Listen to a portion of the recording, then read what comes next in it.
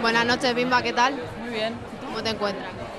Yo bien, bastante bien, con ganas de, de nada, de ver aquí la nueva colección de Stradivarius y los nuevos look, trend looks de, de Schwarzkopf. ¿No has podido ver nada todavía?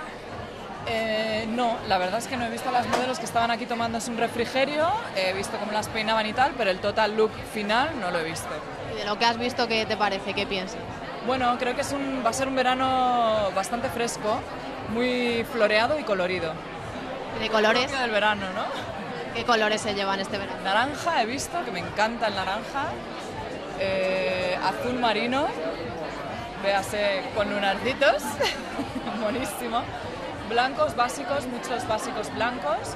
Vaqueros cortitos como lavados y teñidos de, a dos colores, muy chulos.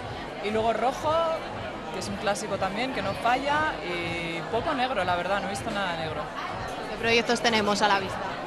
Proyectos, bueno, eh, sacar adelante el disco del Feo, eh, nos quedan algún que otro bolillo para este verano.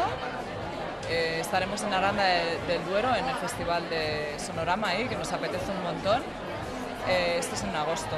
Y luego nada, a ver si en junio tengo algo preparado, pero todavía no, no puedo hablar de ello y tengo muchas ganas de, de contároslo. ¿Te queda tiempo para ser madre? Pues no, muy poco. Intento, ¿eh? además, estar a full time porque creo que es importante que, que nos puedan disfrutar y disfrutarlos yo, sobre todo, por puro egoísmo.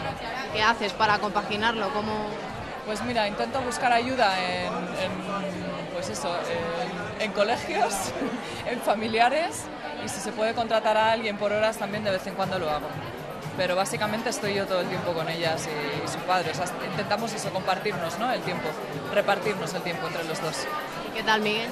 Súper, súper bien, está eh, hecho un padrazo, los niños guapísimos y todos encantados. Para las reuniones familiares debe ser súper divertido. Maravillas, necesitamos eso, una guardería ya. No, son maravillosos, la verdad, lo disfrutamos muchísimo y es eso, que los niños siempre unen mucho, ¿no? Muchas gracias. Gracias.